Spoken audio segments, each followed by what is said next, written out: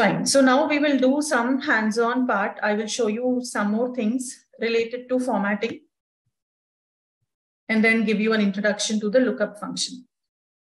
Formatting data that we have been looking at is all based on certain conditions so far, right? Based on certain conditions. Now, let's just take a few minutes to understand just normal formatting of the data, okay? This is my data. Okay, and there are a few steps that I'm supposed to uh, perform here in order to format this data. Not conditional formatting, just general formatting. Just let's say uh, to present it, to present the data in a better way. So this is like going back to the basics. First, we need to autofill the employee numbers into cells A6 to A8. So A6 is this, up to A8, we need to automatically fill in the employee numbers. For that, we have the flash fill option in Tableau, isn't it? So this, this icon here represents something called as flash fill. So quick analysis tool. All I need to do is go to this border corner and over there on that handle, do a double click. It will automatically fill in the values. So, so Excel is a very intelligent tool.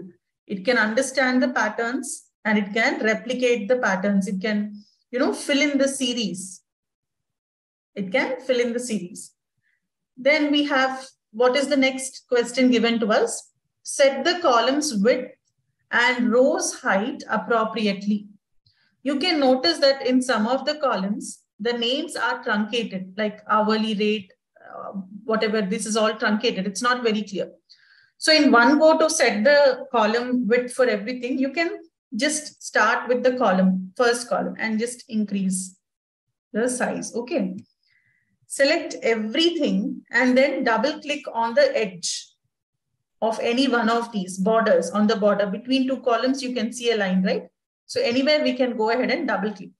All of them will automatically adjust in such a way that the whole data fits in. Okay. Now here I will reduce the size given to A. We don't did not give so much. I'll reduce it. You see neatly it has automatically arranged. Now these three are not looking so good, each one with a different column width. Suppose you would like to fix the column width, then you have to go to format option in the cells group here. Column width, I'm going to adjust and increase it to 25. Too much, 25 is too much. Okay, you have to check it relatively, you have to change it. Maybe 15 would be sufficient. Okay, next the row height. Row height also has to be adjusted. So I will select all the rows and in similar fashion, I'm going to double click here between any two row numbers. You can go and double click. The height of all the rows in the selection will be adjusted appropriately. Next, third statement, uh, third question is to set the label alignment properly. So these are the column headers, right? We need to set the alignment. There's no specific um, request here. Just properly we have to set it means let us center align. This is a group on the ribbon that talks about alignment. This whole thing talks about alignment. So I want it to be middle aligned, center aligned. So I'll click here. All of them move to the center. Payroll that you notice, right? Payroll. Let us make this as the heading of the entire table.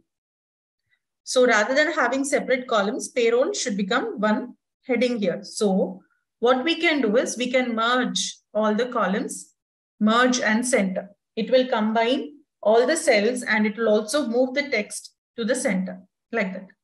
I will make it slightly, I'll make it bold. You can see the font group. Okay, and I'm going to give it a background color. Fill it with yellow or whatever color of your choice you can use for formatting. Okay, and you can color it. All right, what next? Use wrap text and merge cells. I've done that. Apply borders, grid lines, and shading to the table as desired. So we've given shading to this particular cell. This is shading icon. Okay, similarly, let's say all the cells I'm going to select. And this is table borders, sorry, the border to the range of values. So when you click here, there are different types of borders we can give. I'll use all borders. So you can see the borders have appeared nicely. To this payroll, I'm going to give a thick outside border. Okay, and to this also, this whole thing, just a thick outside border. And um, these headers, let us highlight them by giving them a shading. So maybe like this, we will highlight them.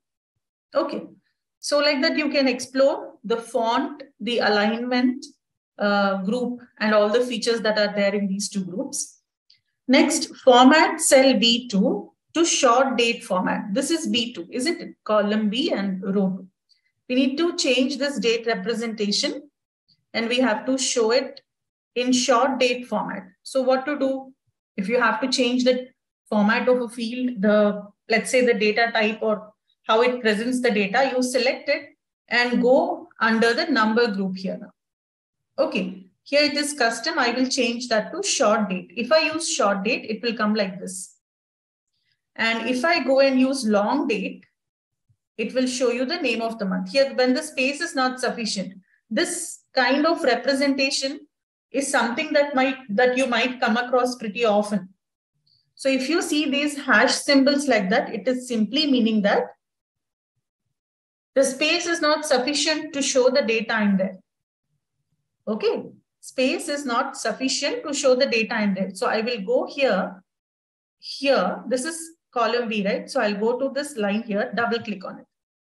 The width will get automatically adjusted. So when you double click on these, the width of the column gets automatically adjusted. How to give the border is the question. You have to select the data around where you might want to give borders. After selecting the data, where do we have the borders feature? We have it over here. In the font group, we have it. And here, this particular icon is for borders. And when you click on this drop-down icon, you can see a lot of options will come up.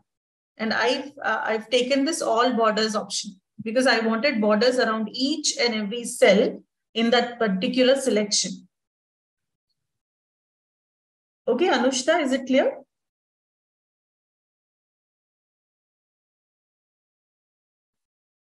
That's how you give